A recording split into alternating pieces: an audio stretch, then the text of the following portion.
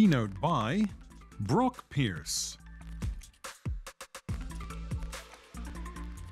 DeFi continues to conquer the digital space. Let's discuss future trends and driving concepts.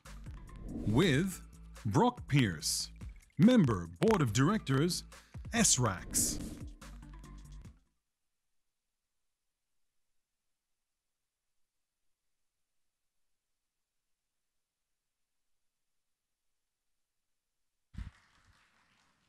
Hello, Dubai. This is my first trip out of the United States in over a year, and I'm glad to be here. This is clearly where the action is. As you just heard, people are coming here to visit, and they're staying. They're not leaving. And that's happening because of the quality of life combined with the opportunity and uh, Dubai clearly is, uh, is one of the big beneficiaries. I think I heard that there's been 44% GDP growth. Uh, pretty astounding considering everything that's happened here. And just a, a, shout out to the, uh, that last uh, fireside chat.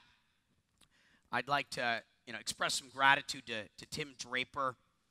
Um, I started a venture fund called Blockchain Capital, which was the first fund dedicated to investing in this sector back in 2013. And Tim Draper was one of our large LPs and wrote me all of uh, my reference letters to future LPs. I'm also an LP in Tim Draper's fund. And so when people ask, does it make sense in your asset allocation to participate in these types of vehicles? I clearly believe the answer is yes. I think that you ultimately want to have access to the underlying assets, let's call it Bitcoin, but having some exposure to funds is a useful thing because you then have the ability to talk to GPs to get access to the insights that will make you a better, smarter investor. Uh, if, if possible, by a show of hands, uh, how many of you are yield farming? Okay.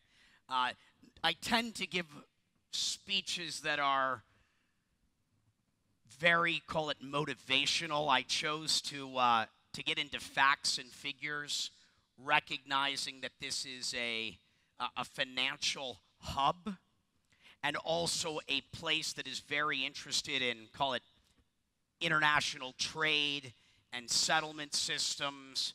And one of my gifts is I'm able to take complex ideas and distill them down into simple, concise, easy to understand sort of sound bites. And so I want to quickly just walk us through a little bit of what's going on in the DeFi or decentralized finance market and what's driving it. You know, why are why is this happening? So in its simplest form, decentralized finance is a system by which financial products become available on a public decentralized blockchain network, making them open to anyone to use rather than going through middlemen like banks or brokerages. If you have your money in a bank, these are typically the, uh, the interest rates that you're receiving. You know, in some cases it's negative, but typically it's sub 1%. If you're lending out your money in a decentralized finance market, you're looking at 5 to 15% on those same dollars. Sub 1%, call it 10%. An order of magnitude difference. And in many instances, these can be securitized loans with these sorts of numbers, you're like, why would anyone put their money in a bank? So, why is this happening? How can this be?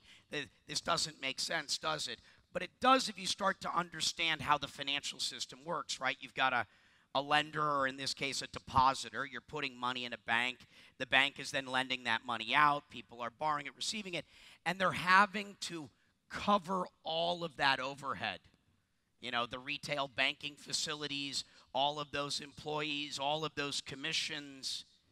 And what you're seeing in a decentralized finance market is lenders giving money directly to borrowers and the lender receiving all of the economics. It's as simple as that.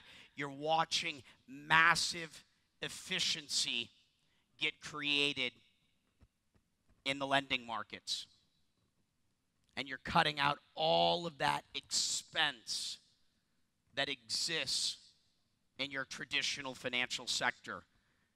Very compelling.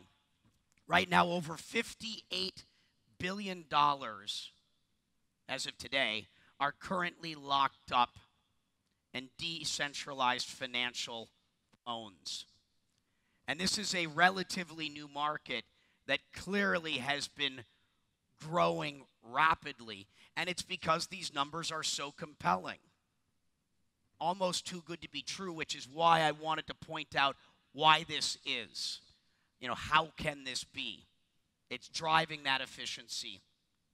And there's a lot of other substantial benefits that come out of this. Clearly, those returns are driving the participation and the adoption, but this also has the potential to drive financial inclusion, which is something that's good for the world.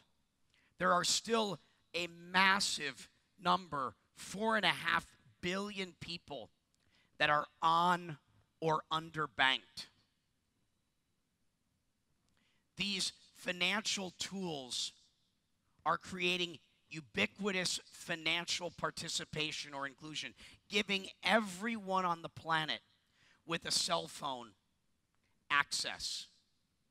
And not just access to your traditional sort of financial services, but financial services that currently provide returns of an order of magnitude and might allow you to borrow money that you might not be able to borrow otherwise.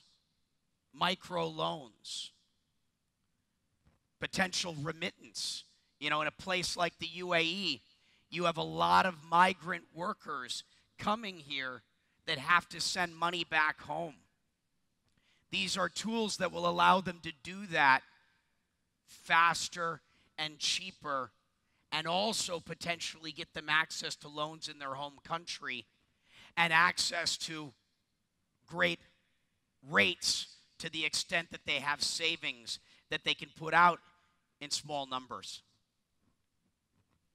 If we were going to re architect Maslow's hierarchy of needs today, you know, what are the things that you need? You know, there's this American concept of life, liberty, and the pursuit of happiness. What are the things that you need to be able to pursue and live a happy life? In this day and age, you need access to the internet, you need a cell phone, and you need access to financial services. Without these tools, the likelihood of ever achieving success in your life are like that of winning the lottery. And so, this is one of the things that's so exciting about what's happening here. It's not just the financial returns. Hopefully, this has provided you with an insight that helps you understand why this is happening and the potential for positive impact to impact the lives of billions of people. As I like to say, a billionaire to me is not someone with a billion dollars, but someone who's positively impacting the lives of a billion people. And everyone that is helping to make this dream a reality, you know, has the potential to do that now. My name is Brock Pierce. Thank you very much for having me.